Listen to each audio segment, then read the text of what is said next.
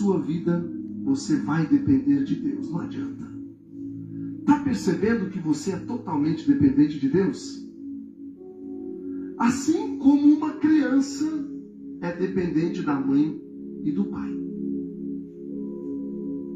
Exatamente por isso que Jesus diz que para entrar no reino dos céus tem que ser como uma criança.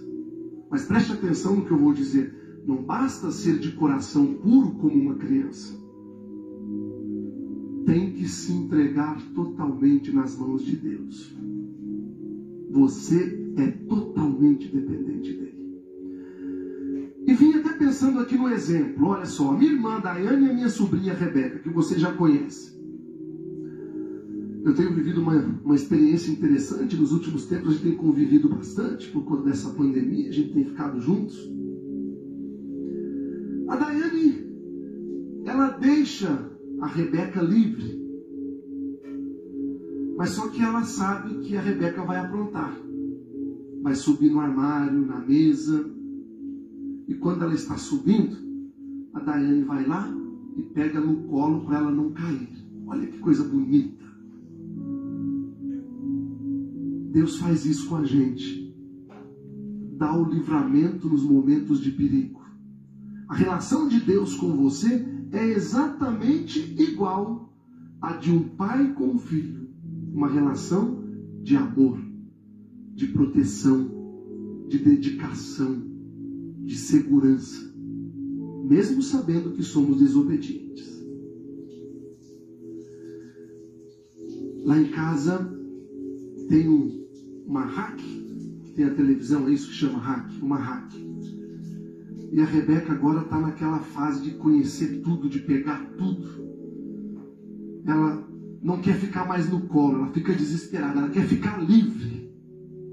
Quando a Daiane solta a Rebeca na sala, a primeira coisa que ela faz é ir gatinhando e vai subir na hack. Eu estou só olhando, uma hora ela vai subir naquela hack vai cair a televisão na cabeça dela. Vai machucar e vai fazer eu perder a minha televisão, que é o pior. Mas só que a Daene é muito esperta. É a mãe, né? Deus é assim. Dá liberdade, solta, mas quando vê que está no perigo, vai lá e pega ela de novo. Olha que coisa bonita. Deus faz assim comigo e com você. Por isso que Ele nos criou livres, nos deu livre-arbítrio quando nós nos entregamos totalmente nas mãos dele, ele nos cuida, ele nos vigia, diz a palavra. No momento em que você está no perigo, ele vem e te pega no colo, ele te livra do mal. Nessa palavra que acabamos de escutar, Mateus capítulo 11, versículo 20 até o 25, 24, observamos aqui a ingratidão dessas cidades, desse povo em relação a Jesus. Veja, as cidades onde ele realizou mais milagres foram os lugares onde menos se arrependeram.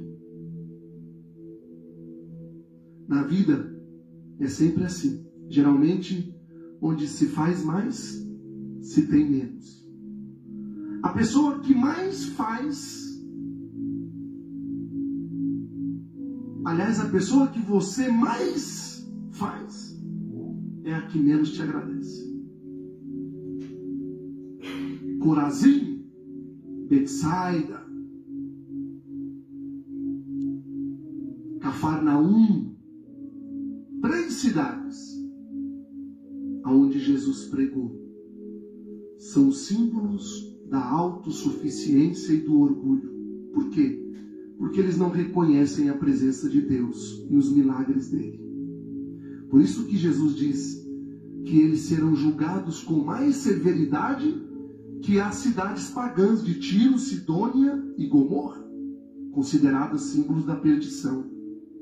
Jesus é fantástico. Não é à toa que um dia ele disse assim: as prostitutas os precederão no reino dos céus. Ou seja, não adianta você estar dentro da igreja se você vê os milagres de Jesus, mas não os acolhe.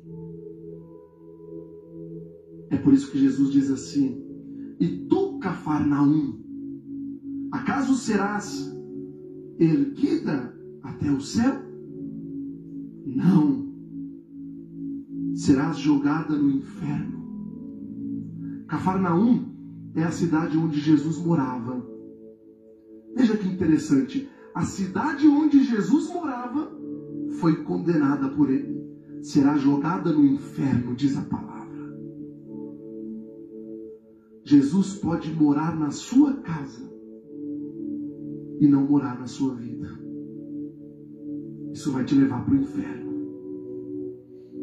Você está dentro da igreja, mas a igreja não está dentro de você. Jesus não está dentro de você.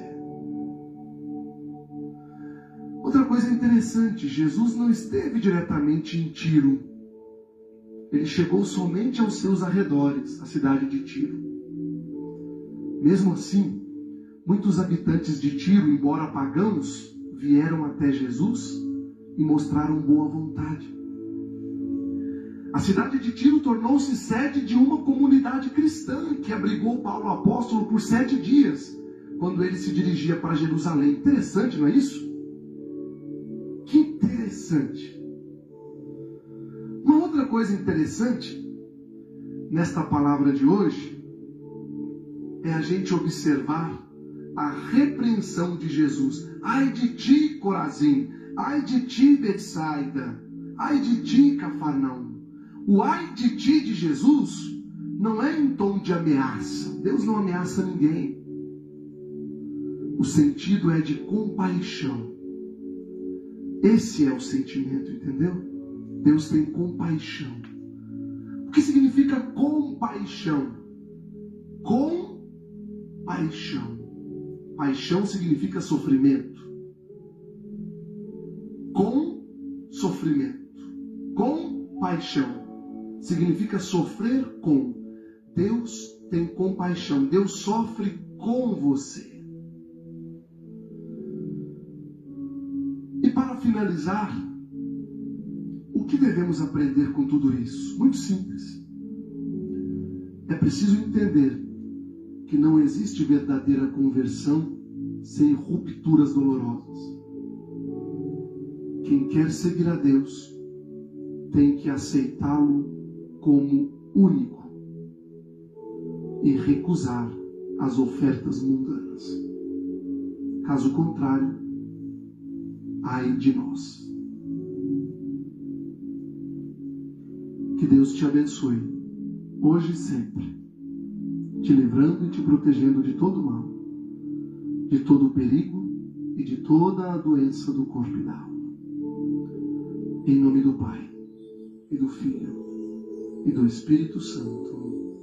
Amém. Bendito, bendito, louvado seja, bendito,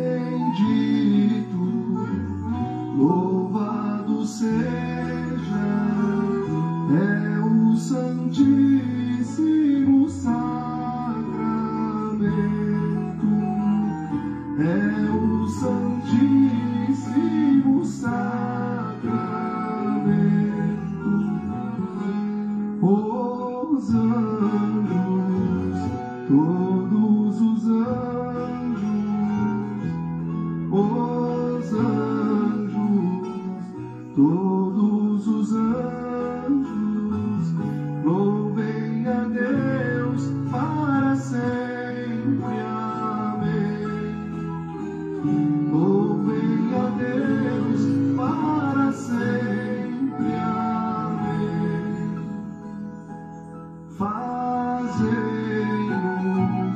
Virgem Maria, fazei-nos, Virgem Maria, sacrários